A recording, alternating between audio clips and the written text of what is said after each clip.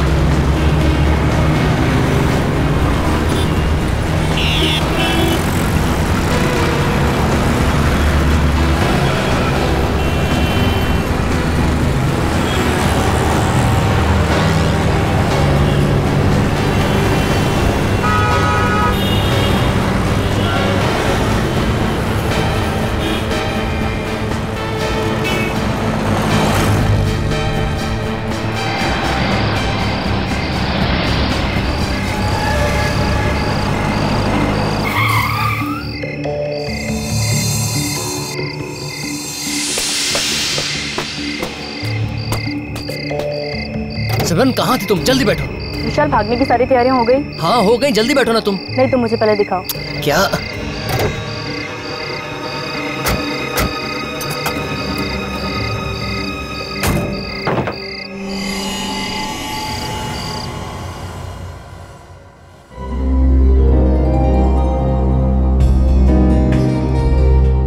आप जी नमस्ते। अरे पहले कुछ बताया नहीं ये सब कुछ अचानक? जी ब- समझ लीजिए कुछ अचानक ही हो गया। वो वक्त नहीं मिला तैयारी करने का। अच्छा अच्छा। अगर विशाल हमें टीना के बारे में सब कुछ पहले ही बता देता तो वही तो मैं कह रही हूँ। इस टीना के ना घर का पता है ना ही उसके माँ बाप का। विशाल ने भी ना एक बार भी अपने खानदान की इज़्ज़त के बारे में नहीं सोचा। बस कह दिया एक अनाथ लड़की से शादी करनी अरे ऐसा होता है क्या? वो जो भी है विशाल की पसंद है। और विशाल की खुशी में ही हमारी खुशी है। वो सब तो ठीक है। लेकिन क्या तुम लोगों ने कभी ऐसा सुना है कि लड़की की शादी की तैयारी लड़के के घर में हो रही है? ओ आंटी जो भी है ठीक है। टीना ऊपर तैयार हो रही है। वो किसी भी वक्त नीचे आती हो। विशाल बिना फ़ोन नहीं उठा रहा है। कब से उसे फ़ोन करा फ़ोन ही नहीं उठा रहा है? लेकिन विशाल गया कहाँ? वो उसका कोई दोस्त आने वाला था स्विट्जरलैंड से। वो उसे एयरपोर्ट पे पिक करने गया। आलोक और तुमने उसे जाने दिया? तुम्हें पता है ना कि शादी के दिन मुहूर्त से पहले दूल्हे का घर से बाहर निकलना अपशकुन होता है? तुमने कैसे जाने दिया? आलोक फिर से ट्राई करो। आलोक भैया वो टीना। क्या हुआ टीना को? वो दरवाज़ा नहीं खोल रही है। हाँ? हाँ। दरवाज़ा नहीं खोल रहे? पता नहीं किस मनुष का साया पड़ गया हमारे घर पर। विशाल फ़ोन नहीं उठा रहा। वहाँ टीना दरवाज़ा खोल नहीं रही। हो क्या रहा है इस घर में?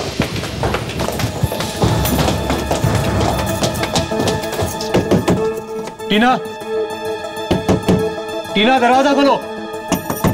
दरवाज़ा खोलो Tina. Tina Tina open the door दरवाज़ा खोलो। टीना। हे भगवान टीना दरवाज़ा क्यों नहीं खोल रही है? कहीं उसे कुछ हो तो नहीं क्या? दरवाज़ा तोड़ना पड़ेगा।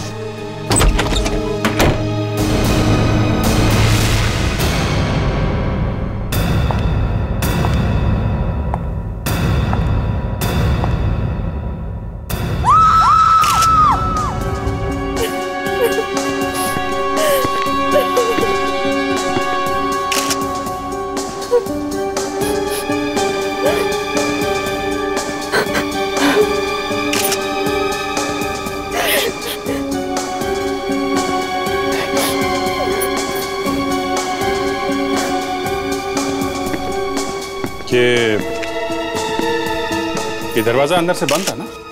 जी हमने मिलके तोड़ा है। तो ये चाकू अंदर कैसे आया? जी हमारा नहीं है। हमें नहीं पता। आप विशाल के भाई हैं? जी ये मेरी वाइफ है ये बुआ और ये सिस्टर अभिजीत क्या लगता है? अभी तक तो आत्महत्या दिख रही है लेकिन आगे का बोल नहीं सकते? आत्महत्या का खून बन जाए कुछ कह नहीं सकते। इस चाकू का थोड़ा डाउट लग रहा है बस। ठीक है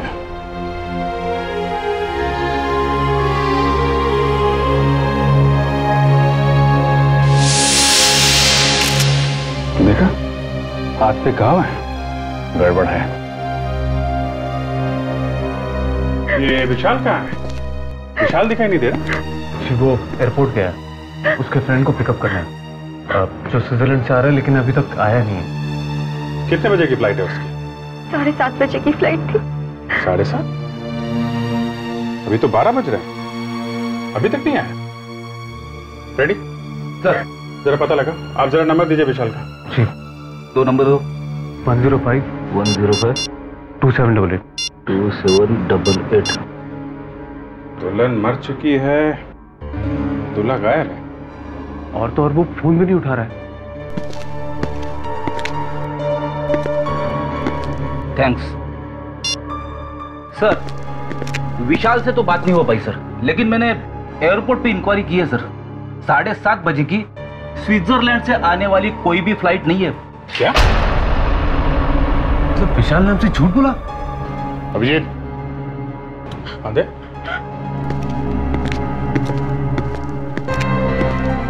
ये देखो। ये विशाल एयरपोर्ट गया नहीं। घर वालों से ये कह के गए कि एयरपोर्ट जा रहा हूँ। और थोड़ी देर बाद इस खिड़की से अंदर आया और उसी ने टीना को मारा। ये विशाल अगर एयरपोर्ट नहीं गया तो कहाँ गया होगा? कुछ बता सकते हैं आप लोग? सिमरन। सिमरन?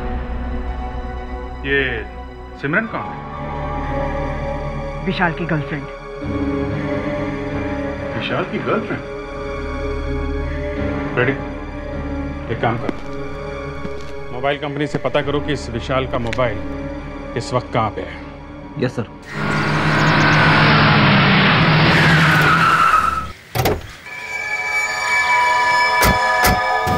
sir mobile company से पता चला कि विशाल का सेल फ़ोन इस जगह पे है। लेकिन यहाँ आके देखा तो ये गाड़ी खड़ी है सर सर ये शायद वही गाड़ी होगी जिसमें विशाल जा रहा था सर। अरे लेकिन विशाल यहाँ पे आया ही क्यों होगा?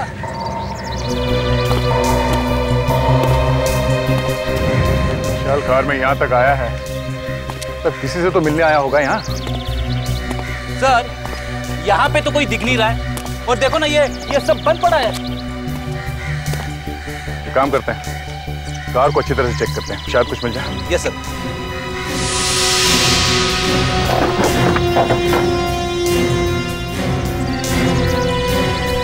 ये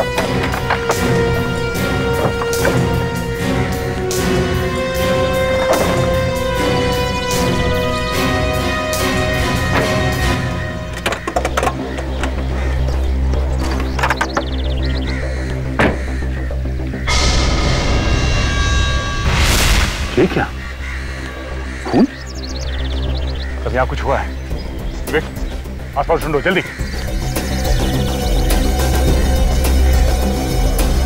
रेडी उठा लो जल्दी यस सर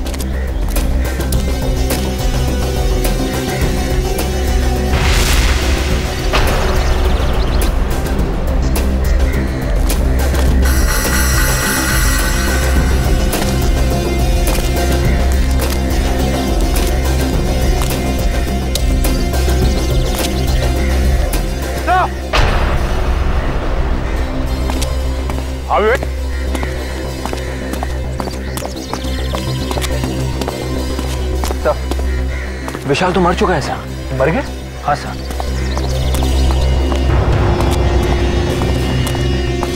तो ये सोच रहे थे कि विशाल टीना का खून करके फरार हो गया। यहाँ तो विशाल को किसने मार दिया? सर कहीं उस सिमरन ने तो नहीं मारा विशाल को? बॉडी पलटो सर।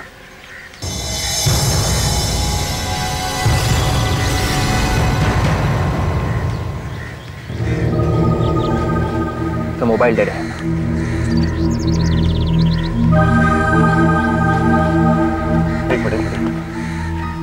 इसके हाथ में कुछ है।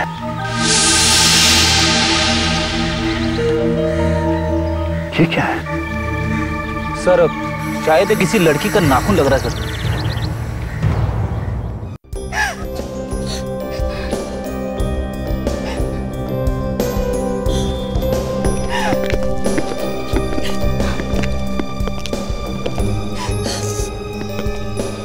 देखिए हमें पता है कि इस वक्त आप लोगों को तंग नहीं करना चाहिए।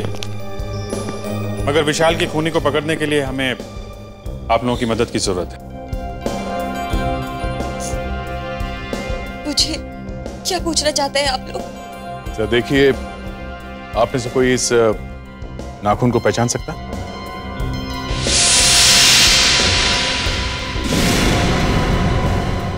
ये नाखून हमें विशाल की लाश की मुट्ठी में से मिला। विशाल की मुट्ठी में? जी हाँ। ये शायद सिमरन का ही है। सिमरन का? ये आप इतनी यकीन से कैसे कह सकती हैं? विशाल सिमरन को घर लेकर आता था। तो सिमरन के हाथों पर भी इसी तरह का लाल कलर का नेल पॉलिश होता था। आप लोग उसकी उंगलियाँ देखी। आपको पता चल जाएगा। कि thank you very much sir sir sir. Sir एक बुरी खबर है सर। जिसका भाई मर चुका हो उससे और बुरी खबर क्या हो सकती है? सर हम लुट गए सर। वो वो एक करोड़ रुपए जो बैंक में से निकाले थे कल रात ऑफ़िस के तिजोरी से चोरी हो गए सर। चोरी हो गए?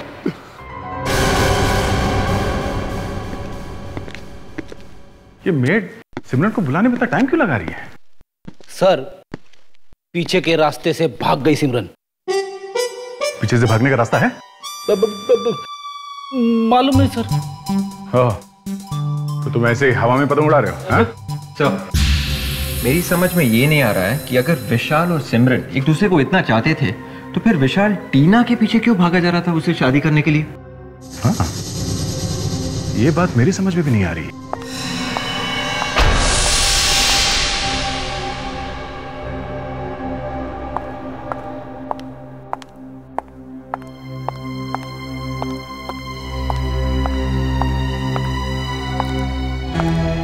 आप लोग मुझसे ही मिलना चाहते थे? तो आप सिमरन जी। आप लोग सीआईडी से हैं? जी। बताइए मुझसे क्यों मिलना है? आप तो ऐसे अनजान बन रही जैसे आपको कुछ मालूम ही नहीं है, है? देखिए मेरी तबीयत बहुत खराब है। प्लीज़ मुझे साफ़ साफ़ बताइए कि आप लोग यहाँ क्यों आए हैं। तुम विशाल और टीना को जानती हो? हाँ। उन दोनों का ही खून हो गया है। विशाल और टीना ये सब कैसे हो गया? वो तो मैं आपको बताऊँगा ही। ले बताइए आपके हाथ से क्या हुआ ये? बस ऐसे ही। ऐसे ही मतलब? वो चोट लग गई थी। अच्छा। मैं आपको बताता हूँ क्या हुआ। विशाल टीना को मारने के बाद उस जगह पे पहुँचा जहाँ पर आप उसका पहले से इंतज़ार कर रही थी। जैसे विशाल वहाँ पहुँचा आपने किसी तरह से उसे मार दिया। मगर मरते वक्त आपका ये नाखून उसके हाथ में रह गया। क्यों? ये नाखून आप ही का है ना? हाँ? ये? हाँ ये। ये नाखून मुझे समझ नहीं आ रहा है ये सब क्या हो रहा है। सिमरन जी जब आपका डीएनए टेस्ट होगा ना तब आपको सब कुछ समझ में आ जाए। DNA test? वो क्यों? अब जरा अपने ये पट्टी खोलिए प्लीज़ जल्दी। देखिए वैसे भी इसमें बहुत दर्द हो रहा है। हम ये जानना चाहते हैं कि ये नाखून आपके उंगली का है या नहीं समझी? मेरा नाखून एकदम ठीक है। इसमें बस चोट लग गई थी। सिमरन जी आपका प्रॉब्लम क्या है? आप दिखाती क्यों नहीं हा? दिखाओ!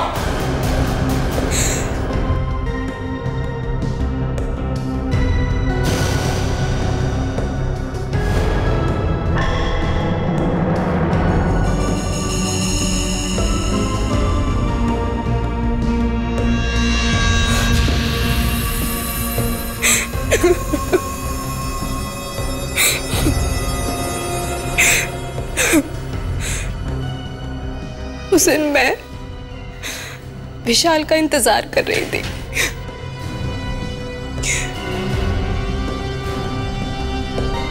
काफ़ी देर हो गई थी मुझे इंतज़ार करते हुए। हम दोनों हम दोनों सब कुछ छोड़कर जाने ही वाले थे। जैसे ही विशाल वहाँ पहुँचा, मैंने देखा कि एक लड़की विशाल के पास जा रही थी और उसने भी ठीक वैसा ही बुरखा पहन रखा था, जैसे कि मैंने। मैं छिप कर देखने लगी। आखिर आखिर माजरा क्या है? विशाल ने उस लड़की को पैसे से भरा बैग दिखाया। सिमरन! और तभी अचानक दो गुंडों ने आकर विशाल पर हमला कर दिया। कौन हो तुम? और वो और वो लड़की भी उनके साथ पैसे लेकर भाग गई। मैं घबरा गई।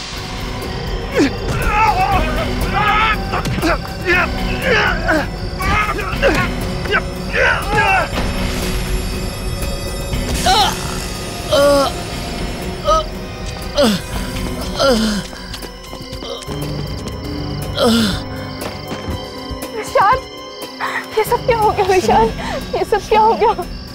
सिमरन। वो लोग कौन थे विशाल ओह माय गॉड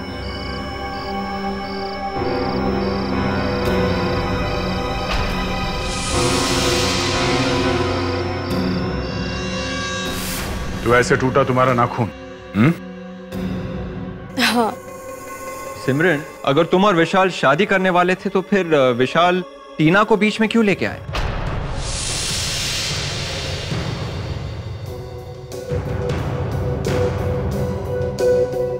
टीना विशाल को ब्लैकमेल कर रही थी।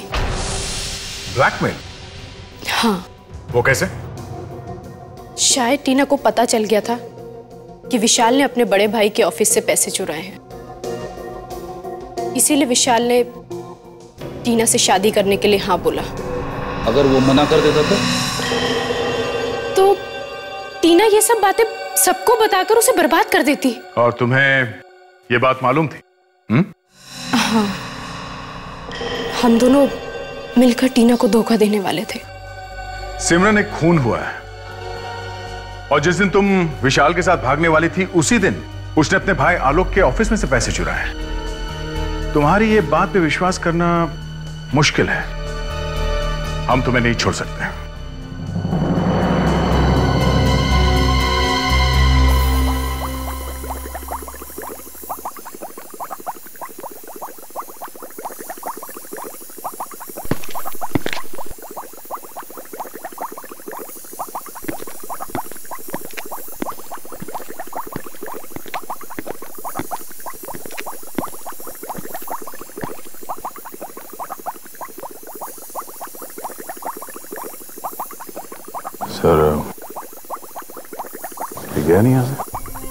ये इतनी आसानी से यहाँ से जाने वाला नहीं है। ये बात मेरे अच्छी तरह समझ में आ गई। है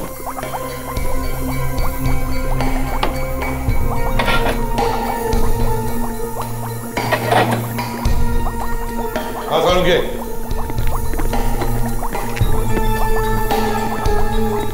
ये थोड़ा यहाँ क्या कर रहा है? लगता है बॉस जैसे टेस्ट को चू मिलेगा।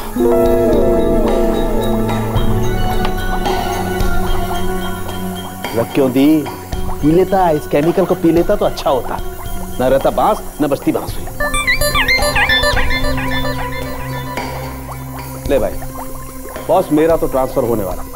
खैर एनीवे मेरा ट्रांसफ़र हो जाए, इससे पहले मैं आप लोगों को एक इंपॉर्टेंट बात बता दूँ। आइए ये ये टीना, इसने आत्महत्या नहीं की जी, ये जो इसकी कलाई पर ये जो घाव है, ये घाव इसने नहीं किया है। घाव ने और चाकू मारने की दिशा ने यह सजेस्ट किया है कि किसी और ने चाकू से इसकी कलाई पर घाव किया है। मतलब? मतलब ये है बॉस कि जब कोई आदमी अपनी कलाई पर खुद वार करेगा तो उसके चाकू का नेचुरल मूवमेंट होगा ऐसे। मतलब घाव की गहराई यहाँ ज़्यादा होगी और यहाँ कम। लेकिन जब कोई दूसरा उस पर वार करेगा तो उसके चाकू का नेचुरल मूवमेंट होगा यो। मतलब घाव की गहराई यहाँ ज़्यादा होगी और यहाँ कम। जबकि टीना की कलाई पर इसका मतलब साफ़ है बॉस टीना पर किसी और ने वार किया। सर मेरी समझ में ये बात नहीं आ रही है। अगर किसी ने टीना को चाकू से मारा है तो ये चिल्लाई क्यों? मैं बताती हूँ सर आइए। ये देखिए। ये क्या है? कॉटन कॉटन जी सर टीना को मारते वक्त खूनी ने उसके मुँह में कॉटन के कुछ टुकड़े भर दिए। टीना को मारने के बाद उसने वो टुकड़े निकाल दिए और चुपके से चला गया। ये धागे हमें टीना के मुँह में से ही मिले और इतना ही नहीं बॉस विशाल की कार पर से जो खून मिला है वो खून विशाल का नहीं है। विशाल की कार में विशाल का खून नहीं है तो फिर किसका खून है? ये तो पता करना पड़ेगा। और दया इतना ही नहीं। जो खून तुमने हमें दिया है उस खून में एक छोटा सा बाल का टुकड़ा भी मिला है। शायद किसी की आईब्रो देखो। हो सकता है ये बाल और वो खून एक ही आदमी का हो। और सर ये कुछ रुपए हमें विशाल के शेरवानी में से मिले ये पैसे तो मैं विशाल की शेरवानी में से मिले जी। कहीं ये वही पैसे तो नहीं जो आलोक के ऑफ़िस से चुराए गए थे? मेहन अगर ये चोरी ना हुई होती तो ये कॉन्ट्रैक्ट हम लोगों को मिल गया होता। लेकिन सर एक बात मेरी समझ में नहीं आ रही है। बिना ताला तोड़े सेफ़ में से पैसे गायब कैसे हो गए? हाँ ये बात तो है। इसका मतलब चोर को सेफ़ का कोड मालूम था। सीआईडी मिस्टर जी।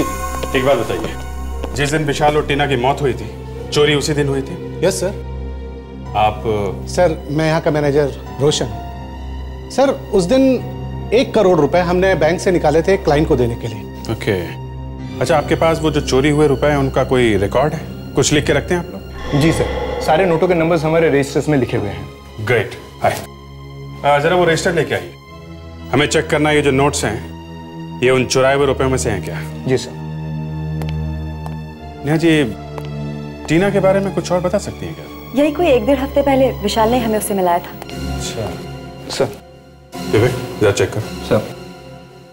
तो ये टीना और विशाल कब से एक दूसरे को जानते थे?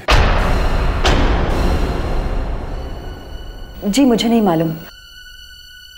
हाँ विशाल ने बताया था कि टीना एक अनाथ लड़की है। विशाल से मिलने ऑफ़िस में कौन कौन आता था? आई मीन ऑफ़िस स्टाफ के अलावा कोई बाहर का आदमी? कुछ दिन से विशाल की आंटी दामिनी जी उनसे मिलने आया करती थी। दामिनी जी? सर ये नोट्स मैच हो गए हैं सर ये नोट्स उन चोरी किए रुपयों में से ही है सर। ये लो। अब तो पक्का हो गया सर। विशाल ने ही चोरी की है। विशाल ने चोरी? मगर विशाल अपने ही ऑफ़िस में चोरी क्यों करेगा? यही तो हम पता लगाने की कोशिश कर रहे हैं नेहा जी। सर विशाल जी हर वीकेंड पे एक पब में जाया करते थे। ब्लैक लाउंज पब और वहाँ काफ़ी पैसे भी खर्च करते थे। कई बार तो उन्होंने मुझसे भी पैसे मांगे। ऐसे thank you thank you very much चलो इस पब में चल के पता करते हैं। ये विशाल पैसे उड़ाता कैसे था? क्या? यही टीना है ना? नहीं नहीं सर ये टीना नहीं है सर। क्या? ये ये टीना नहीं है? सर ये टीना नहीं है सर। मैं मैं टीना की फ़ोटो आपको दिखाता हूँ। पिंकी पिंकी जरा वो एम्प्लॉय वाला रजिस्टर लेकर आना जल्दी से। हम तो सिर्फ़ इसी टीना को जानते हैं। ये दूसरी टीना कहाँ से है सर मैं उस टीना की बात कर रहा हूँ जो हमारे यहाँ बार टेंडर का काम करती है और जिसकी शादी विशाल से होने वाली थी। जी सर मैं आपको टीना की फ़ोटो दिखाता हूँ सर। ये देखिए सर ये है टीना की फ़ोटो।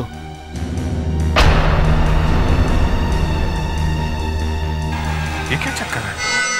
दामिनी जी आप बार बार आलोक के ऑफ़िस में क्यों जाती थी हा? मैं मैं देखिए मैं मैं करने से काम नहीं चलेगा हा? कुछ तो कारण होगा जो बार बार ऑफ़िस में जाके आप विशाल का दिमाग खाती थी हा? मैं मैं बस यूँ ही हालचाल पूछने जाती थी। हालचाल पूछने जाती थी। आप ऑफ़िस की बॉस हैं? नहीं। कंपनी आपके नाम पे है? नहीं। तो फिर बार बार क्यों जाती थी आप हा? और आप लोगों के आपस में झगड़े भी होने लगे क्यों? झगड़े झगड़े? हम्म? किस बात पे झगड़े होते थे दामिनी जी? देखिए आप लोग प्लीज़ इसके बारे में आलोक को कुछ मत बताइए। क्यों? मैं आलोक को बिना बताए ऑफ़िस जाती थी। फिर भी आप बार बार जाती क्यों थी हा? मैंने विशाल को फ़ोन पर किसी से बात करते हुए सुना था। वो ऑफ़िस से पैसे चुराने का प्लान बना रहा था। तो? तो तो तो तो आपने उसे ब्लैकमेल करना शुरू किया हम्म? अरे अरे पैसे मांगती थी ना उससे? हाँ? हाँ। आपने ऐसा क्यों किया हाँ? किस बात की कमी थी आपको हाँ?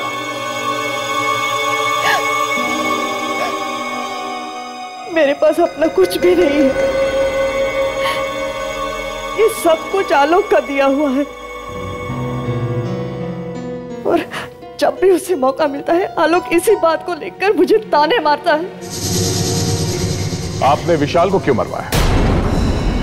विशाल को? ये आप क्या कह रहे हैं? क्यों मारा उसे हाँ? देखिए विशाल को मैंने नहीं मारा। मैं मैं सिर्फ़ उसे ब्लैकमेल किया करती थी।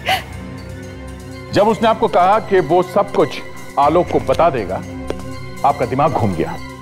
फिर उसने अचानक शादी का प्लान बनाया और आपको यह पता चल गया था कि उसकी शादी में कुछ गड़बड़ है और आपने इसी बात का फ़ायदा उठाया और उसे खत्म करने का ऑर्डर दे दिया। नहीं।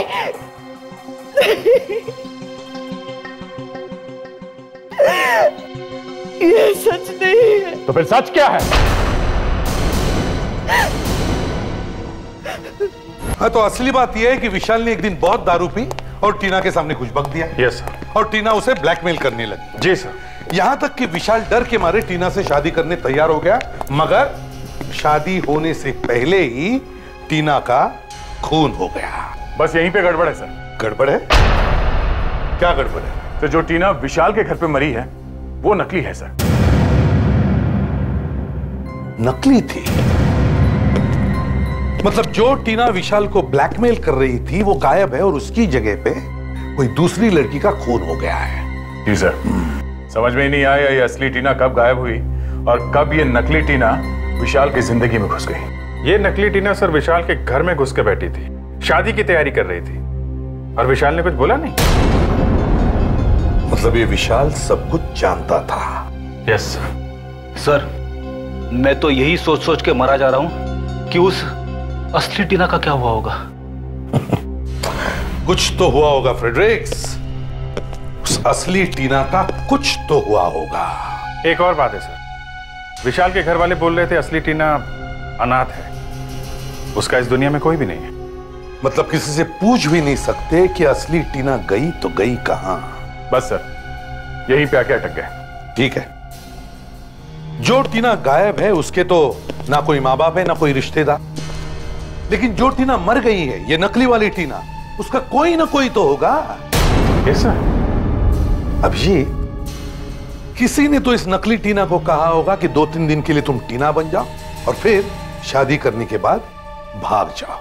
और सर ये शायद विशाल नहीं कहा होगा। हाँ लेकिन दो तीन दिन से तो ज़्यादा हो गए हैं और नकली टीना तो मर चुकी है। ना वो किसी को फ़ोन कर सकती है ना किसी को बता सकती है कि वो है कहाँ। सर अब ऊपर जाके कौन किसको फ़ोन करेगा सर? तभी तो फ्रेडरिक्स तभी तो अब उसके घर वाले परेशान हो रहे होंगे। और शायद और शायद उन्होंने पुलिस में जाकर उसके गायब होने की रिपोर्ट लिखवाई होगी। अरे हाँ सर ये बात तो मेरे दिमाग से निकल ही गई थी। बस तो जल्दी से भागो और देखो मिसिंग पर्सन रिपोर्ट देखो। देखो किसी ने अपनी लड़की के गायब होने की रिपोर्ट लिखवाई है क्या पिछले सात दिनों में? और फ्रेडरिक्स फ़ोटो भी मैच करके देखो। यस सर हाँ।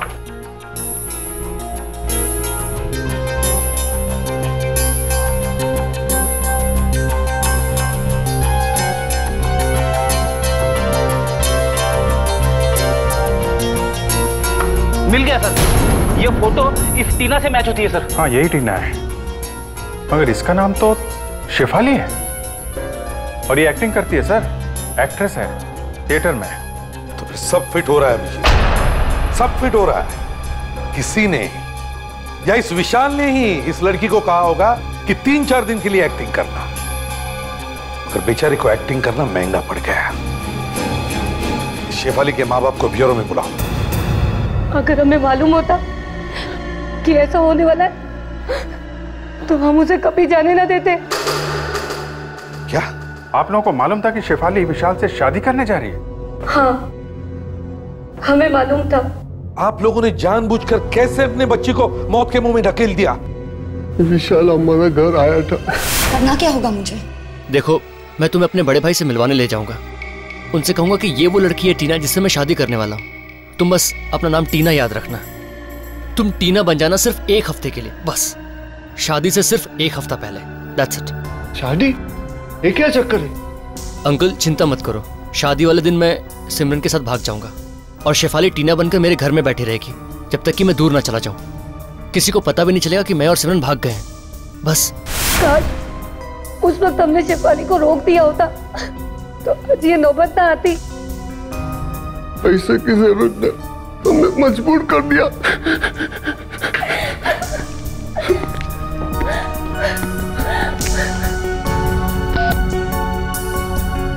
प्रेडिक्ट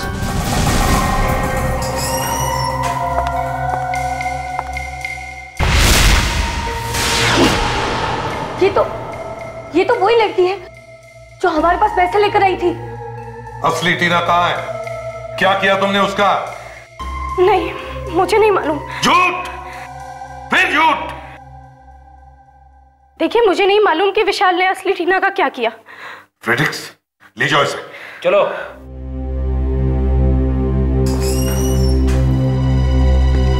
देख, अभिजीत एक काम करो। जो पैसे आलोक के ऑफ़िस में से विशाल ने चुराए थे और जो बाद में चोरों ने लूटे थे वो बैंक से आए थे नए नोट से। हो सके उतने शहर के दुकानों और रेस्टोरेंट्स में जाकर उनके नंबर्स बांट दो। हो सकता है कोई चोर चक्का आ जाए जिसके पास वो नोट हो। भैया जरा मुझे कुछ एंटीसेप्टिक और एक पेन किलर दे देना। और हाँ इस चोट पे बांधने के लिए एक पट्टी दे देना डॉक्टर प्रिस्क्रिप्शन है आपके पास? प्रिस्क्रिप्शन नहीं है मेरे पास दर्द बहुत तेज हो रहा है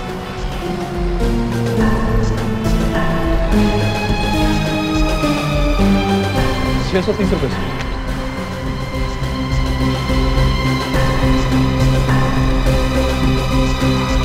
छुट्टा नहीं है, छुट्टा नहीं सब हज़ार के ही है।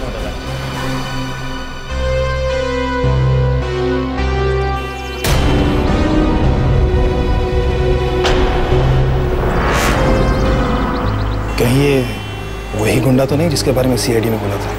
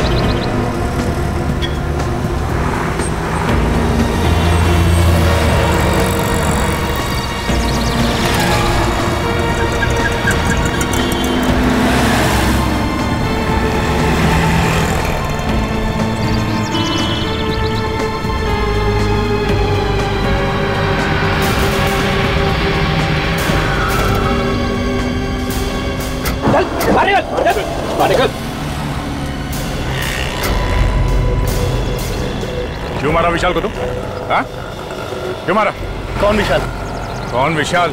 हाँ। जल्दी बोले देता हूँ एक खींच के। हम हम लोग विशाल को मारना नहीं चाहते थे। हम लोग मतलब कौन? हम लोग मतलब हम लोग और और मैडम? कौन मैडम? जिसने हमें पैसे दिए थे। पैसे? मैडम ने पैसे देते हैं कौन है ये मैडम? उ, उ, उ, उसका नाम टीना है। टीना तो मर चुकी है ना? नहीं नहीं वो मरी नहीं है। उसने मुझे पैसे दिए थे विशाल से वो बैग चोरी करने के लिए। बैग चोरी करने के लिए पैसे दिए थे तो मारा क्यों उसको? मैं मैं विशाल को मारना नहीं चाहता था। मैं तो अपनी जान बचाने के चक्कर में था गलती से विशाल मारा गया। ये बिना है कहाँ? अब अपने जूहू वाले बंगले पे।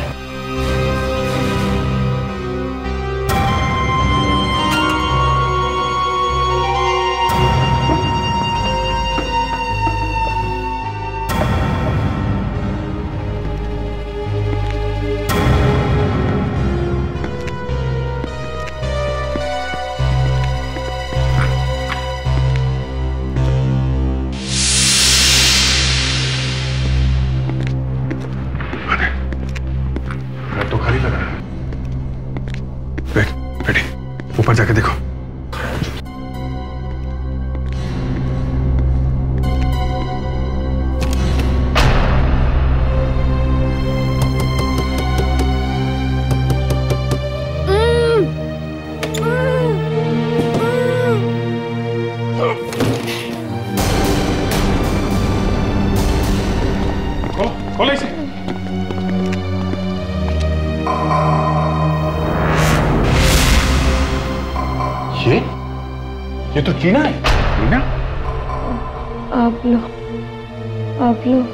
हम लोग सीआईडी से किसने बांधा तुम्हें यहाँ पे?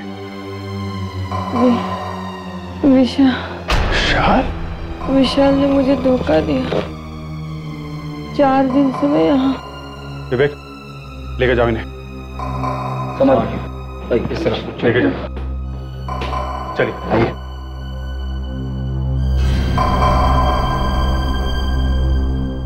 विशाल ने टीना को बाँध के रखा है? सर ये लड़की टीना नहीं है। क्या? हाँ सर मैं बिल्कुल सही कह रहा हूँ क्योंकि क्योंकि चार दिन पहले उस लड़की ने मुझे पैसे दिए थे और ये कह रही है कि चार दिन से ये यहाँ पे बंधी हुई है। सर ये झूठ बोल रही है। ऐसा कैसे हो सकता है? हाँ? मैं मैं बिल, बिल्कुल सच कह रहा हूँ सर। मतलब इस टीना ने तुम्हें पैसे नहीं दिए थे? नहीं सर। झूठ बोल रहा तो। सच सच बताओ चक्कर क्या है हाँ? उस दिन सर जब मैं पैसे लेने के लिए आया था तो तो वो फ़ोन पे बात कर रही थी। उसने बुरका पहन रखा था। और उसने मुझे सिर्फ़ इशारा किया था कि उधर टेबल पर पैसे रखे हैं ले लो। तो? तो उसके हाथ में मेहंदी लगी थी सर। इस लड़की के हाथ में मेहंदी नहीं लगी है। और कुछ याद है? सर उसने एक महँगी सैंडल पहन रखी थी जिसमें डायमंड जैसा कुछ लगा हुआ था। डायमंड लगा सैंडल? हाथों में मेहंदी? कहीं कोई शादी में से तो नहीं? फिर एक काम करो। सभी लोगों को आलोक के घर में बुलाओ जो लोग शादी में आए थे। और एक बात उन सबको बोलो कि वो लोग वही कपड़े पहन के आए जो लोग शादी में पहन के आए थे। ये क्या मज़ाक लगा रखा आप लोगों ने? कुछ नहीं बस थोड़ी देर की बात है। बाद में सब कुछ ठीक हो जाएगा। लेकिन आप लोग कर क्या रहे हैं? आ, आप लोगों के मुँह ढक देंगे। क्या? क्या? जी हाँ फेस कवर कर देंगे आप लोगों के।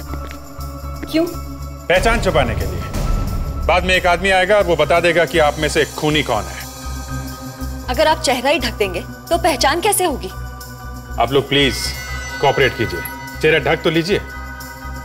मैं नहीं पहनूँगी। देखिए आप लोग कॉपरेट करेंगी। काम जल्दी हो जाएगा। टाइम बचेगा। हाँ? आइए प्लीज़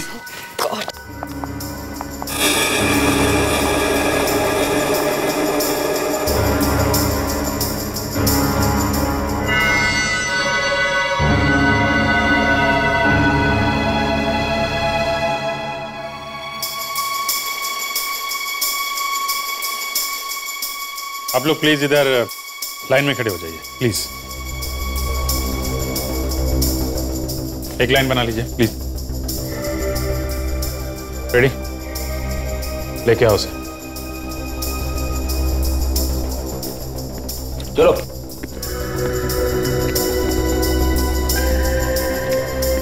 गौर से एक एक पैर देखो? और याद करने की कोशिश करो उस रात तुमने कौन से सैंडल देखे थे? ठीक है? आओ जल्दी.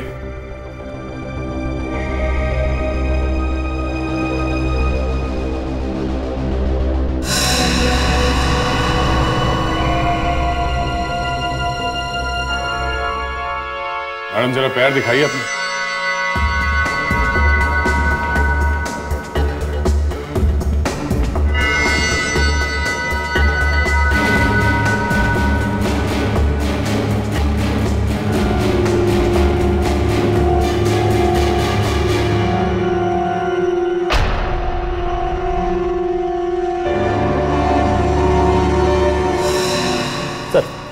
ये है वो लड़की।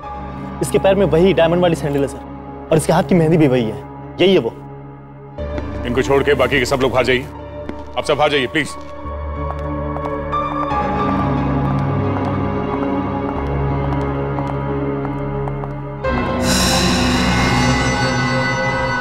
अच्छा अच्छा तो आप हैं।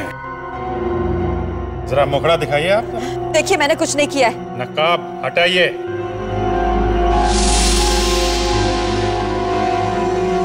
आप। नेहा जी नेहा? अरे भाई साहब। ओ आप कहाँ जा रहे हैं? हाँ? नहीं मैं मैं कहीं नहीं जा रहा हूँ। कहीं नहीं जा रहे हो आप?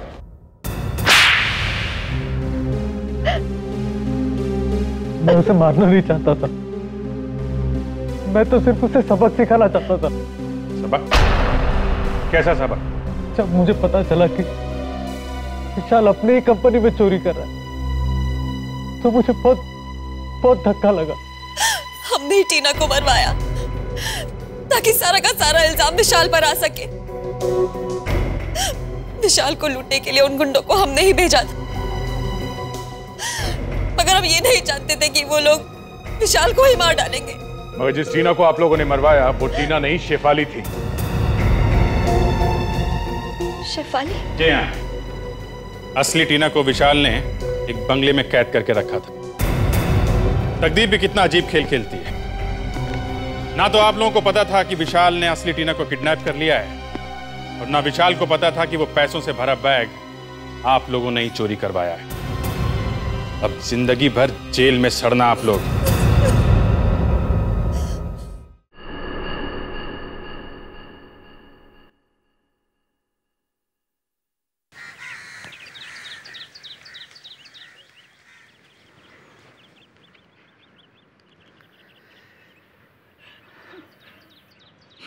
आरती को शमशान लेके जा रहे हैं। तुम नहीं जा रहे? नहीं। मुझे कोमल की चिंता हो रही है। क्यों? क्या हुआ है कोमल को? पता नहीं। अजीब सा बर्ताव कर रही है। कोई बात कर तो किसी बात का जवाब नहीं दे रही है। लगता है माँ की मौत का बहुत गहरा सदमा लगा है उसे। हमें उसे अकेला नहीं छोड़ना चाहिए था। पर पर वो अभी है कहाँ? पता नहीं। अभी तो यही थी कहाँ चली गई?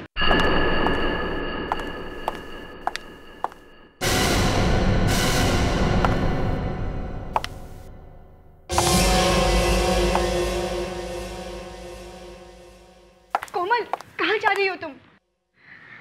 कोमल? कहाँ जा रही हो? Office Komal!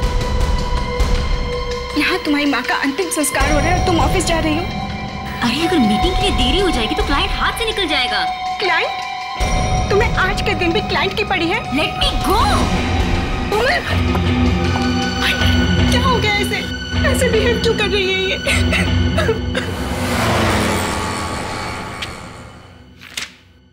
Rajiv don't you think आज हमें कोमल के घर जाना चाहिए?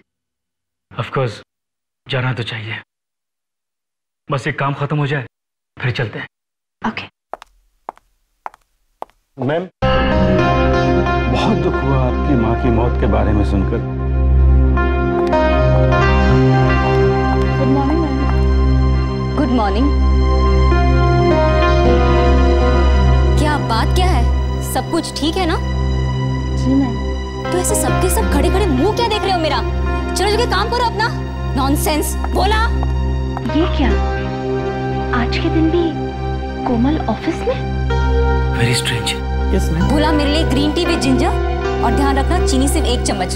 यस कोमल तुम आज के दिन ऑफ़िस में? क्यों? What's the problem I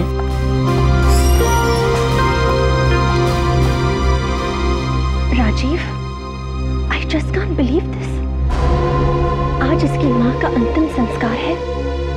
लेकिन लेकिन ये तो ऐसे बिहेव कर रही है जैसे कुछ हुआ ही ना हो। मुझे लगता है बेचारे को बहुत गहरा सदमा लगा है। इसीलिए इस तरह बर्ताव कर रही है।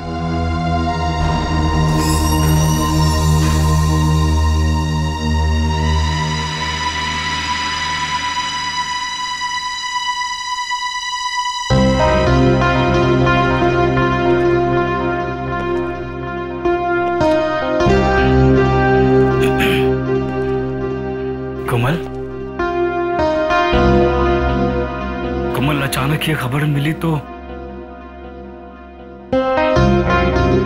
हम सबको सुनकर बहुत दुख हुआ कोमल।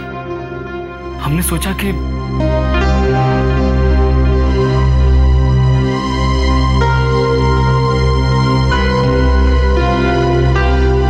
देखो कोमल, हम लोग तुम्हारा दुख समझ सकते हैं we understand but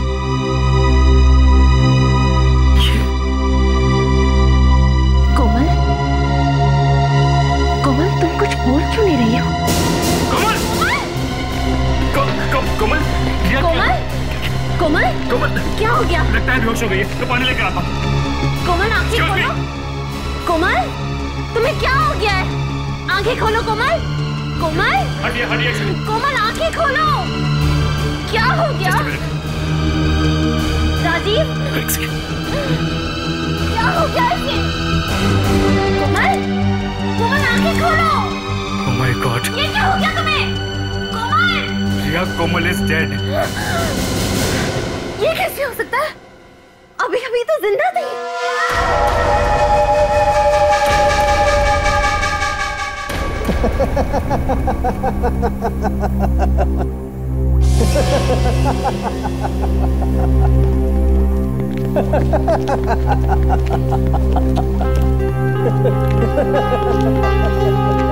ये इसे क्या हो गया हैं? सर हर बार हम लोग लाश लेके फोरेंसिक लैब में आते हैं। इस बार लाश हमसे पहले पहुँच गई है, शायद इसलिए मुस्कुरा रहे हैं। क्यों? ये भी तो हो सकता है अभिजीत कि डॉक्टर तारिका ने कोई जोक मारा हो। अच्छा? अरे हाँ तुम्हें नहीं मालूम डॉक्टर तारिका कैसे कैसे जोक मारती है? अच्छा वो? अरे सर मुझे नहीं मालूम होगा तो फिर किसे मालूम होगा है, है ना सर? हाँ तुम्हें नहीं मालूम होगा तो और किसे मालूम होगा? अच्छा अभिजीत तुम्हें कैसे मालूम? मुझे? अरे मुझे तो वो नहीं नहीं बोलो बोलो बोलो ना बोलो। वो तारिका तुम ही बोलो ना। अभिजीत आपको कैसे मालूम कि मैं भी जोक मार सकती हूँ? मैंने आपके सामने तो कभी कोई जोक मारा ही नहीं है।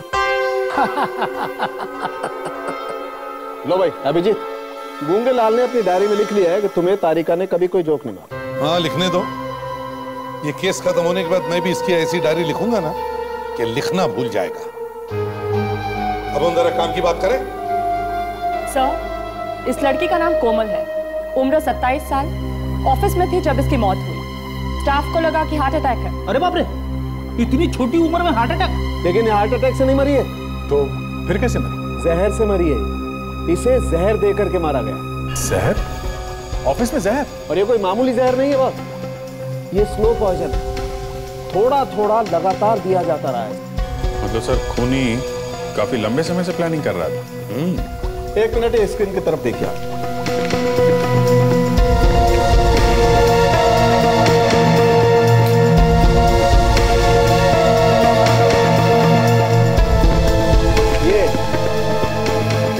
देख रहे हैं आप? ये कोमल के बाल का फोटोग्राफ और ये जो बीच में निशान है ये जहर के निशान है जो कोमल को दिया गया। जैसे जैसे जहर शरीर में आता गया उसके ट्रेसेस कोमल के बालों में दिखाई देने लगे ओ इसे देखकर तो लगता है कि कोमल को करीब करीब रोज कोई जहर दे रहा था। बिल्कुल। ये बालों में जहर कब तक आ जाता है? करीब 10-12 दिन बाद। इसका मतलब हम लोग पता लगा सकते हैं कि कोमल को आखिरी बार जहर कब दिया गया था। जी बिल्कुल। कोमल को आखिरी बार 10 अप्रैल को जहर दिया गया था। सर अगर कोमल को हर रोज जहर दिया जा रहा था तो इसका मतलब यह है कि जहर देने वाला इंसान कोमल के आसपास ही रहता होगा घर में या शायद ऑफ़िस में। बिल्कुल। तो ये आप जो हर सेगमेंट में ये गैप देख रहे हैं ये इस गैप का मतलब ये है कि इस दिन कोमल को जहर नहीं दिया गया। और ये एक सेगमेंट सात दिन का है। और ये गैप हर सातवें दिन पड़ता है। सातवें दिन पे गैप हर सातवें दिन गैप मतलब छुट्टी का दिन तो नहीं? संडे मतलब सर जहर ऑफ़िस में दिया गया है। संडेज को तो कोई ऑफ़िस जाता नहीं ये भी नहीं जाती होगी। आप लोग कुछ सैंपल्स इकट्ठा कर सकते हैं। जैसे कोमल की खाने पीने की चीज़ें या फिर या फिर मेकअप का सामान जैसे लिपस्टिक पाउडर वगैरह? इन सैंपल्स के एनालिसिस से हम ये बात पता कर सकते हैं कि इसे कौन सा जहर दिया जा रहा था। पता नहीं किसका साया पड़ गया हमारे खानदान पर। अभी वरना की चिता की रात ठंडी भी नहीं हुई। और लेकिन कोमल तो एक बहुत अच्छी लड़की थी। और उसकी किसी से कोई दुश्मनी नहीं थी। तो उसे किसी ने क्यों मारा? हाँ मगर खून तो हुआ है। और ये खून कोमल के किसी आसपास वाले ने ही किया है। वैसे आप लोगों का रिश्ता क्या है कोमल के साथ? जी मैं आस्था हूँ। कोमल की सबसे अच्छी दोस्त। और ये सनी है। उसके साथ कॉलेज में पढ़ता था। और ये तन्वी आंटी उसकी बुआ। तुम कोमल की सबसे अच्छी दोस्त हो तो फिर कोमल ने अपनी परेशानी के बारे में तुमसे कुछ तो डिस्कस किया होगा। जी उसे कभी कोई परेशानी थी ही नहीं। वो तो हमेशा खुश रहती थी और दूसरों को भी खुश रखती थी। पिछले कुछ दिनों से उसका बर्ताव अजीब सा लग रहा था आपको? जी नहीं। हाँ लेकिन अपनी माँ की मौत का काफ़ी सदमा पहुँचा था बेचारी को। जी हाँ अपनी माँ के अंतिम संस्कार के दिन भी वो तैयार होकर ऑफ़िस के लिए निकली और उसकी आँखों में एक आँसू तक नहीं था। और निकलता भी कैसे? जहर जो फैल गया था उसके सारे शरीर में। जहर? जी हाँ जहर। जहर से मौत हुई है कोमल की। और ये जहर उसे किसी अपने नहीं दिया है। या तो कोई ऑफ़िस का आदमी है या फिर घर का कोई। ये आप क्या कह रहे हैं? हम सब तो उसको बहुत प्यार करते थे। हाँ, और उस प्यार का अंजाम भी तो हम देख ही रहे ना। कोमल की लाश? क्यों? अभिजीत डॉक्टर सारंग ने जो कोमल के खाने पीने के और मेकअप के सामान के सैंपल मांगे सब उठा ले। वैसे कोमल ने कभी अपने ऑफ़िस के माहौल के बारे में कुछ बताया था आपको?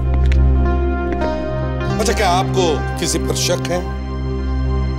जी नहीं मुझे वो सब पता नहीं। मैं कभी ऑफ़िस नहीं गई। और जब से वन्ना बीमार रहने लगी कोमल ही ऑफ़िस जाती थी। फिर भी? कभी ना कभी कुछ तो कहा होगा उसने अपने ऑफ़िस के बारे में ऑफ़िस के काम के बारे में लोगों के बारे में। जी नहीं। वो अपनी प्रोफेशनल बातें हमें नहीं बताती थी। सैंपल ये सारे सैंपल्स तुम फोरेंसिक लैब में भिजवा दो। और हम इस कोमल के ऑफ़िस के दोस्तों से जाकर मिलते हैं। जी कहिए किससे मिलना चाहते हैं आप लोग? हम सीआईडी से हैं। हो मगर बात क्या है? बात यह है कि कोमल मैडम का खून हुआ है और उस सिलसिले में हम यहाँ आए क्या? कोमल मैडम का खून हुआ है? जी हाँ। और हमें शक है कि उसका खून आप लोगों में से किसी ने किया ये क्या कह रहे हैं? आप कौन? जी मेरा नाम शरद है और मैं यहाँ का मैनेजर हूँ। लेकिन ये कोमल मैडम का खून कैसे हुआ? किसी ने उसे जहर दिया। है और हम यहाँ वही पता करने आए कि वो ऑफ़िस में क्या क्या खाती पीती थी। वैसे कोमल मैडम को ऑफ़िस में खाना पीना कौन सर्व करता था? जी उनके लिए चाय वाय और नाश्ता खोला ही लेकर जाता था।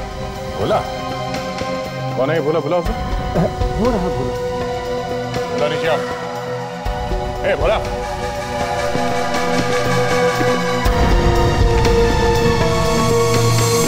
आप बोला है हाँ?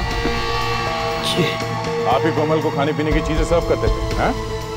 जी पर पर साहब मैंने कुछ नहीं किया मैंने कुछ नहीं किया साहब हाँ हाँ हमने कब कहा कि तुमने कुछ किया है हाँ? ये बताओ कोमल मैडम रोज खाना क्या खाती थी साहब सुबह चाय पीती थी अदरक वाली ग्रीन टी और फिर दोपहर का खाना वो तो वो घर से ही लाती थी। मतलब सुबह की चाय और लंच के अलावा वो यहाँ पे कुछ नहीं खाती थी हाँ? जी नहीं। देखो ठीक से सोच के बताओ। ये खून का मामला है समझे? साहब पिछले दो साल से उनका यही टाइम टेबल है। सुबह अदरक वाली चाय पिएगी और फिर दोपहर का खाना।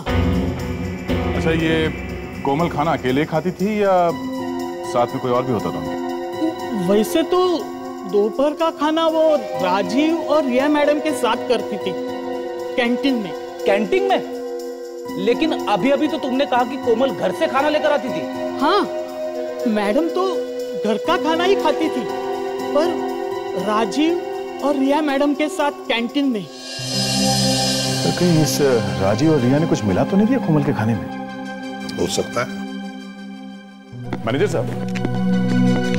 ये राजीव और रिया कहाँ है बुलाओ उन्हें जी वे दोनों इस वक्त तो ऑफ़िस में नहीं है। ऑफ़िस में नहीं? है कहाँ गए जी जब से कोमल मैडम की मौत हुई है तब से ही वो लोग गायब हैं। गायब है? दोनों के दोनों? जी मैंने फ़ोन पर कांटेक्ट करने की कोशिश की लेकिन उन दोनों के फ़ोन भी बंद हैं। कमाल है। दोनों ने एक साथ ऑफ़िस आना बंद कर दिया और दोनों के फ़ोन भी बंद है। ये दोनों आपस में सिर्फ़ दोस्ती है या कुछ और भी? है? जी वो एक दूसरे से प्यार करते थे। ओ प्यार करते करते गायब हो गए। पर गायब क्यों हो गए? सर उन दोनों ने ही कोमल को मारा होगा।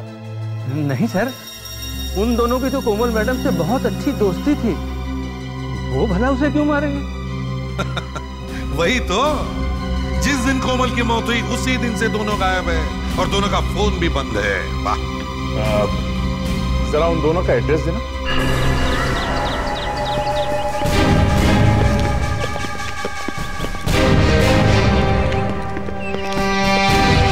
मुझे लगी रहा था सर दरवाजे पे ताला लटक रहा होगा हमारे स्वागत के लिए।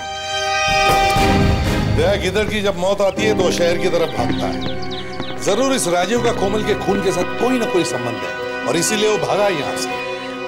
दरवाज़ा तोड़ दे सर। तोड़ दो? हो सकता अंदर कोई सुराग मिल जाए जिससे हम राजू तक पहुँच सके। हाँ। कौन है आप लोग? और मेरे घर के आगे क्या हो रहा है? आपकी तारीफ़? वाह मेरे घर आकर मुझसे ही पूछ रहे हैं आपकी तारीफ़। मनोरमा नाम है मेरा। मनोरमा जी हम लोग सीआईडी से हैं। हम राजीव से मिलने आए हैं। राजीव से? जी। मगर किया क्या है उसने? एक खून हुआ है। खून? जी हाँ। शायद खून राजीव ने ही किया है। ये क्या कह रहे हैं आप? अरे राजीव तो बहुत ही डिसेंट लड़का था। ज़्यादातर खूनी बाहर से डिसेंट ही लगते हैं मनोरमा जी। क्या आपको मालूम है कहाँ है वो? नहीं वो तो मेरे मकान में किराए पे रहता था। पर कल ही घर छोड़ के चला गया वो। क्या? उसका कुछ सामान है अभी भी घर में? नहीं अब राजीव ही यहाँ नहीं है तो उसका सामान यहाँ कैसे होगा? वो तो सब कुछ साथ ले गया। कहाँ गया? वो कुछ कह कर गया? नहीं कुछ भी तो बोला नहीं वो। मगर जाते जाते एक और मुसीबत मेरे गले डाल दिया कैसी मुसीबत? ये ढाई हज़ार रुपए का होटल का बिल है। वो तो चला गया अब इसे भरेगा कौन? मिले तो उसे ही कहना भरने को। Blue harbour? मतलब सर पिछले weekend Raju hotel blue harbour में था। Hotel blue harbour.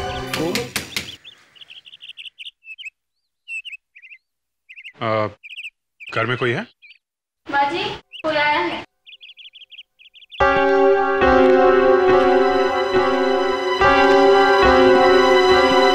कौन है? जी हम लोग सीआईडी से।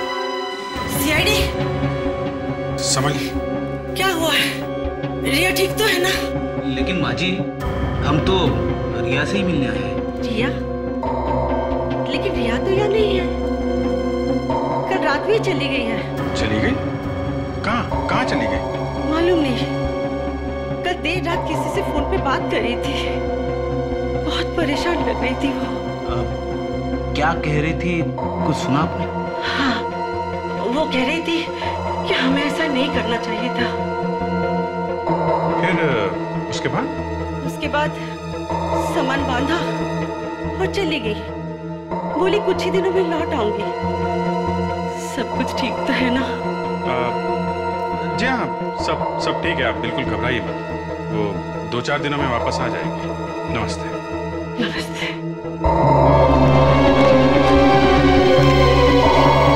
अभी नहीं ये कुछ दिनों पहले हमारे होटल में आए थे साहब। अच्छा तो क्या किया था इन लोगों ने यहाँ पे? अ, किसी और से मिले थे होटल में यहाँ पे? इनको झगड़े से फुर्सत मिलती तभी तो मिलते ना सर। झगड़ा? किस बात पे झगड़ा हुआ था उनका? सर जब ये लोग यहाँ आए थे तो एकदम ठीक थे। पता नहीं अचानक इनको क्या हो गया। आपस में झगड़ा करने लगे पूछे मत सर। सीरियस झगड़ा हुआ था? महाभारत साहब एक वेटर ने बीच में आने की कोशिश की उसकी नाक भी तोड़ दी। मतलब बात हाथापाई तक पहुँच गई? वही तो कह रहा हूँ सर तूफ़ान सा मच गए थे आप खड़े खड़े देखते रहे? पता करने की कोशिश नहीं की कि क्या हुआ था? धक्के मार के बाहर निकाल दिया सर इनको। इनका सामान भी हमने सड़क पे फेंक दिया। अच्छा ठीक है। जरा उस वेटर को बुलाओ। उससे पता करते हैं यहाँ क्या हुआ था। जल्दी।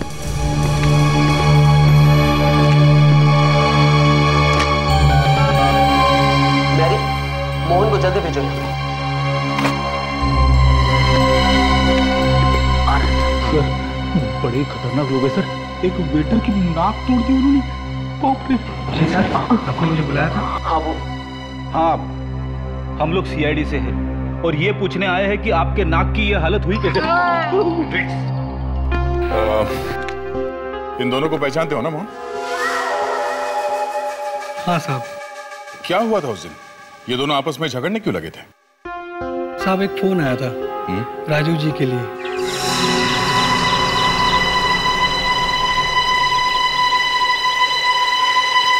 साहब आपके लिए फ़ोन है। चलिए होटल के नंबर पे फ़ोन? किसका फ़ोन? है पता नहीं साहब।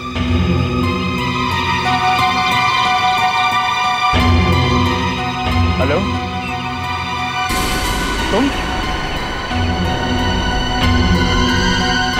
तुम्हें किसने कहा कि मैं यहाँ पर हूँ? नहीं, मैं तो मैं तो ऑफ़िस के काम से आया हूँ। आई कोई नहीं है मेरे साथ। बिल्कुल अकेला हूँ मैं। क्या कह रहे हो तुम? राजीव होल्ड कर होल्ड कर यस यस भैया। क्या हो गया? मुझसे चोरी छुपे फ़ोन पे किससे बातें कर रहे थे तुम? किससे बात कर रहा था? किससे बात नहीं कर रहा था मैं?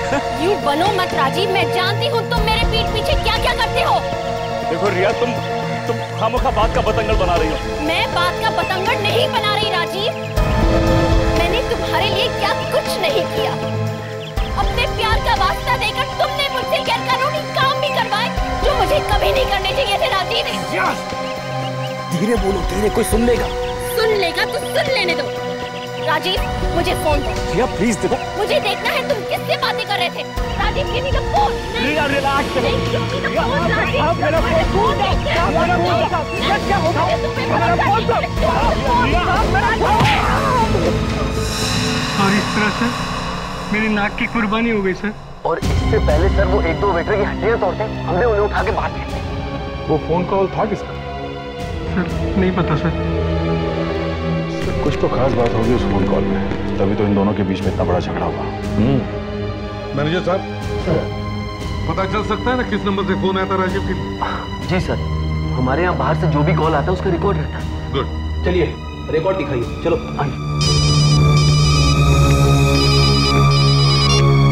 के क्या?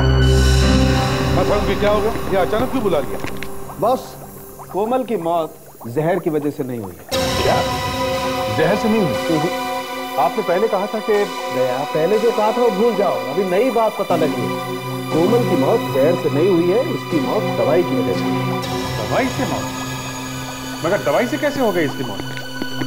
बस किसी को बिना बीमारी के टेढ़ी मेढ़ी दवाइयाँ खिलाई जाए तो क्या होगा? रिएक्शन से मर जाएगा कौन सी दवाई? स्लमोफोबिनाजोल लमोफोबिनाजोल सम सम समो फंस गया फंस गया। क्या करे? अनपढ़ है ना बेचारा। अच्छा ये दवाई किस बीमारी के लिए दी जाती है? सर ये दवाई अक्सर एपिलेप्सी के पेशेंट्स को दी जाती है। आप तो जानते हैं एपिलेप्सी एक मानसिक बीमारी है जिसमें इंसान के दिमाग में कुछ ऐसे बदलाव आते हैं जिससे उन्हें फीट्स आने लगते हैं। मगर कोमल को तो ये बीमारी नहीं थी। तो फिर इसे दवाई दी किसने? और जब तक कोई डॉक्टर लिख कर ना दे कोई ये दवाई खरीद नहीं सकता।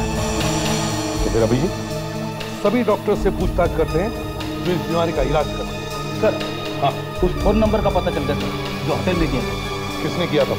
सर किसी अंजलि नाम की लड़की ने किया था। और ये रहा उसका एड्रेस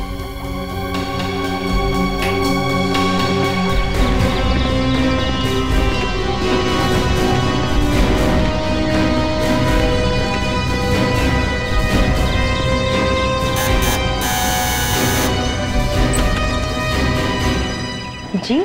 आप अंजलि है? जी। देखिए हम लोग सीआईडी से हैं। सीआईडी से? आइए। आप आप राजीव को जानती हैं? जी हाँ वो मेरे पति हैं और मैं उनकी इकलौती पत्नी पर ना उन्हें इस घर की फ़िक्र है ना मेरी। अच्छा अच्छा आप राजीव की पत्नी हैं? जी हाँ पर बात क्या है? आप लोग राजीव को क्यों ढूंढ रहे हो? एक्चुअली हमें शक है कि राजीव ने किसी रिया नाम की लड़की के साथ मिलके अपनी बॉस कोमल का खून कर दिया। क्या? रिया के साथ? कितनी बार कहा था मैंने? कि उस रिया से दूर रहे। पर उन्होंने मेरी एक न मानी। आखिर फंसा ही दिया ना उस रिया ने उन्हें ठीक ठीक। जरा आप साफ़ साफ़ बताएँगे बात क्या है? क्या बताऊँ सर? अच्छी खासी शादीशुदा ज़िंदगी थी हमारी। जब से ये रिया उनकी ज़िंदगी में आई है उनका ध्यान मुझसे ज़्यादा रिया पर रहने लगा। बहुत ही खराब औरत है। कुछ अंदाज़ा है आपको इस वक्त ये दोनों कहाँ होंगे? पता नहीं कहाँ होगे वो दोनों। पिछले हफ़्ते मैंने फ़ोन किया था। तो उस रिया के चिल्लाने की आवाज़ आ रही थी मुझे। आप रेडी पता चल गया? ठीक है ठीक है हम लोग पहुँचते हैं। सर उस साइकोथेरेपिस्ट का पता चल गया है। Very good doctor Chandra ji हाँ क्या बात है? देखिए हम लोग सीआईडी से हैं। सीआईडी पर यहाँ? जी हाँ एक खून हुआ है। उसके सिलसिले में हम यहाँ आए हैं। किसका? कोमल का। को, कोमल? जी हाँ कोमल। जिसका एपिलेप्सी का इलाज कर रहे हैं आप। लेकिन उसका खून किया किसने? शायद आपने। मैं ये क्या कह रहे हैं आप? जी हाँ कोमल को एपिलिप्सी नहीं थी। फिर भी आप उसे एपिलिप्सी की दवा दे रहे थे। क्यों?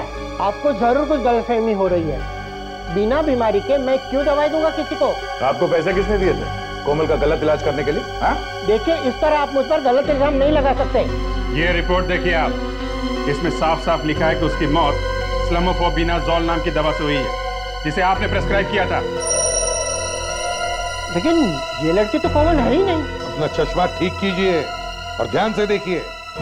अगर ये कोमल नहीं है तो फिर कौन? है मुझे क्या पता? मैंने तो इस लड़की को पहले कभी देखा नहीं।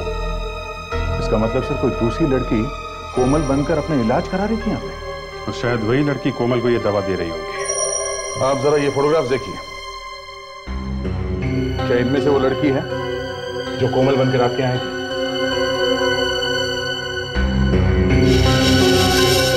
ये कोमल है जिसका मैं इलाज कर रहा हूँ।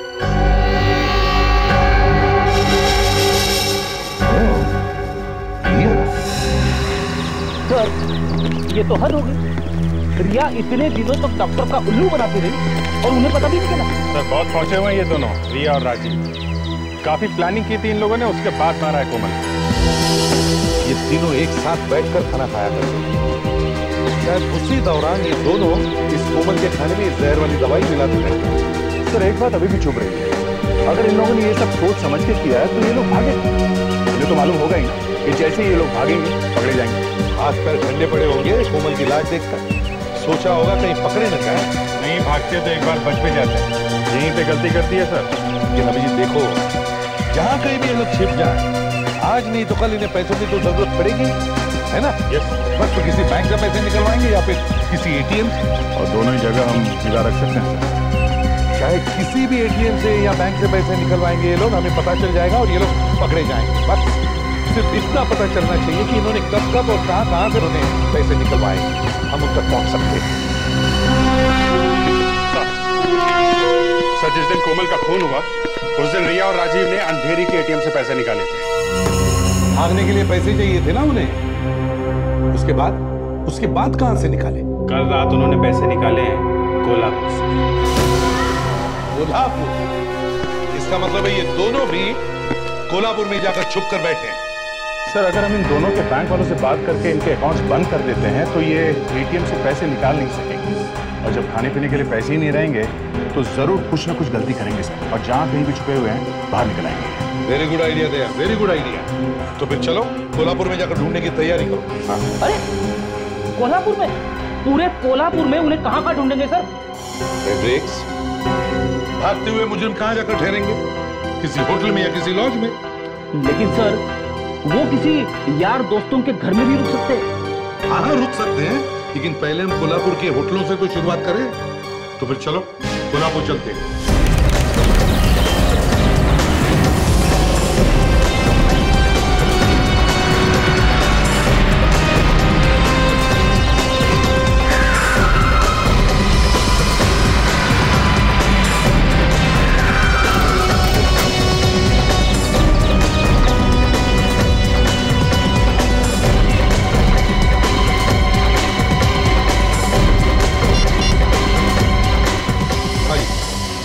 जी चाबी हम लोग चेकआउट कर रहे हैं जरा बिल बना देना हाँ। हाँ दया मिले क्या? यहाँ पर तो नहीं है। दया ध्यान से देखो ध्यान से देखो। हो सकता है वो भेद बदल कर रुके हो। ओके चार दिन हो गए सर। हम लोग अलग अलग लॉज में रुके हुए हैं। अभी तो कोई नहीं मिला। इस तरह से ढूंढते रहे ना सर? तो हमारे जूते खिंचेंगे सर। फेड्रिक्स वो लोग है तो कोल्हापुर में ही, समझे?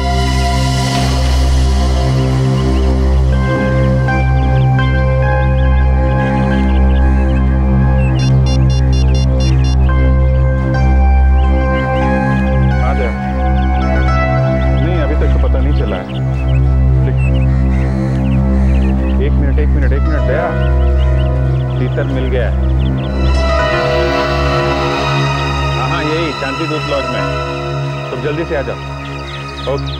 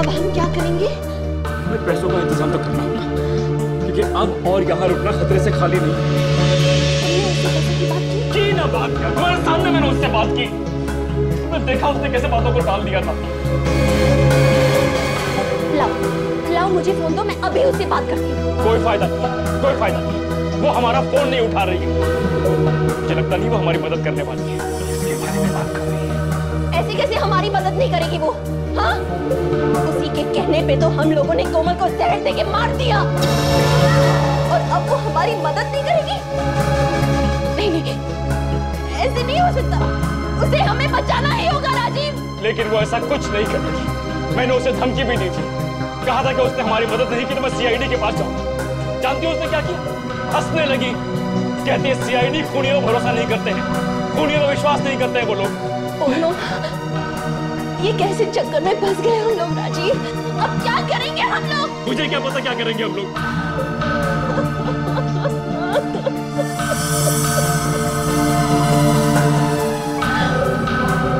से काम नहीं बनने वाला। अगर हम डूबे, अगर हम डूबे तो हम उसे भी साथ लेकर डूबेंगे।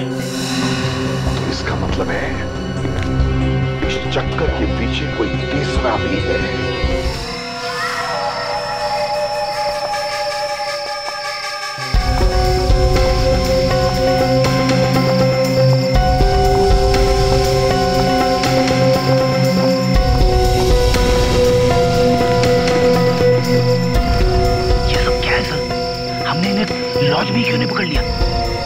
यही एक तरीका था इनको पकड़ने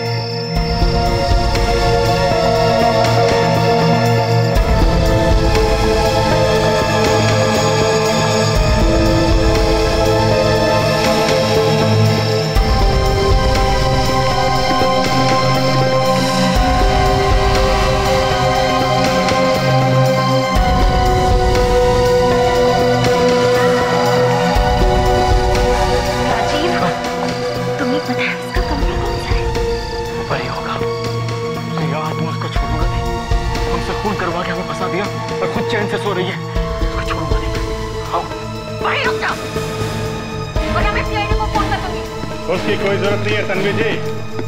आपने बुलाया? हम लोग आ गए। थैंक गॉड हम लोग सही वक्त पर आ गए। पता नहीं ये दोनों कौन है। अरे आप इन्हें नहीं जानती? ये लोग आपके लिए काम करते हैं और आप इन्हें नहीं जानती? क्या कह रहे हैं आप? ये मेरे लिए काम करते हैं? ओए बुआ जी। बस हो गया अच्छी बुआ बनने का नाटक समझी? बताओ क्यों मरवाया तुमने कोमल को? तुम्हारी पोल अब खुल चुकी है समझी? रिया ये वही औरत है ना जिसने तुम्हें कोमल को मारने के लिए पैसे दिए?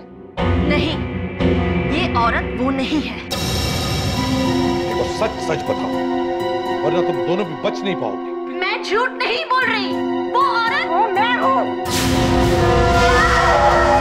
आज आज मैं तुम सबको भी कोमल के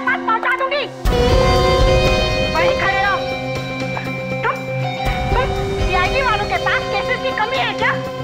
कोई कोई दूसरा केस फाड़ लेते ये कोमल कोमल कोमल करके मेरी नाक में दम करके रखा है तुम लोगों ने। जब तक खूनी को किए की सजा नहीं मिलती हम लोग चुप नहीं बैठते समझी? पर अफसोस इस बार ऐसा नहीं होगा। कल के अखबार में लिखा होगा कि कि कोमल के काफिलों ने आस्था को मारने की कोशिश की। और और बहादुर सीआईडी ऑफिसर्स ने उसको बचाने की कोशिश में अपनी जान दे दी शहीद हो गए वो शहीद। हाँ। तुमने अपनी बेटी समझा। और तुमने बदले में ये दिया। ए बुढ़िया अपनी ये जालूबाजी बंद कर समझी? तुम की अब मरने के लिए तैयार हो जाओ। आस्था बेवकूफ़ी मत करना ये गाना में दे दो। हाथ ऊपर कर हाथ ऊपर कर मैंने कहा हाथ ऊपर कर अपने। अपनी गाना में दे दो आस्था अब नहीं।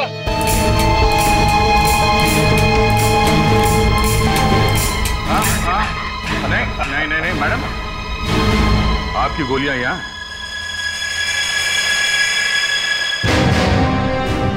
क्यों? कैसा लगा हमारा ये नाटक? हाँ? तुम जैसे सांप को बिल से निकालने के लिए हमने एक प्लान बनवाया था, समझी? ले चलो इसे। एक सहेली को दूसरे लोगों की बुरी नज़र से बचाना चाहिए। बचाना तो छोड़ो। अपनी सहेली का खून ही करवा दिया तुमने हाँ? सहेली नहीं बहन थी वो मेरी। बहन? तो अपनी बहन का खून करवाती हो शर्म नहीं आई तुम्हें? सौतेली बहन थी वो मेरी। सौतेली थी तो क्या हुआ? थी तो बहन ही ना? मेरे डैडी ने मेरी माँ के होते हुए दूसरी शादी कर ली वंदना से। और और वंदना ने उनकी मौत के बाद हमें पैसे देने बंद कर दिए। भूख प्यास से तड़प तड़प कर दम तोड़ दिया मेरी माँ ने। कहीं ऐसा तो नहीं कि तुमने वंदना का भी खून कर दिया? जहर दे के मारा। मैं तो उसके पूरे खानदान को ही खत्म करना चाहती थी। पर पर कोमल को मालूम था कि तुम उसकी बहन हो? नहीं। तभी तो उसकी सहेली बनकर मैं उसके घर में घुस गई। आखिर पकड़ी गई ना? हाँ? घबरा के भाग गए तुम्हारे वो दोस्त। रिया और राजीव बेवकूफ़ है। मुझे क्या पता था कि वो दोनों इतने बड़े मूर्ख निकलेंगे? आस्था! आस्था! तुम तुम दोनों यहाँ पर क्या हुआ? वो वो वो कोमल? कोमल? क्या हुआ कोमल को? वो मर चुकी है।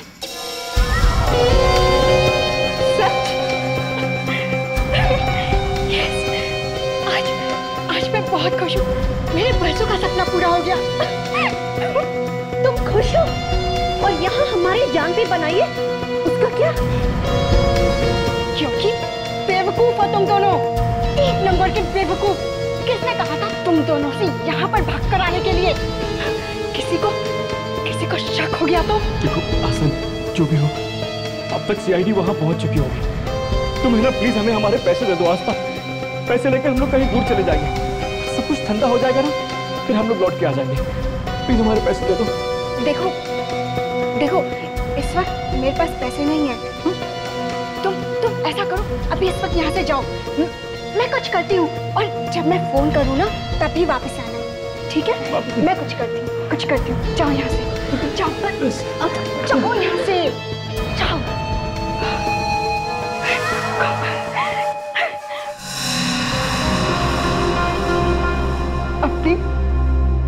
की मौत का बदला ले लिया मैंने।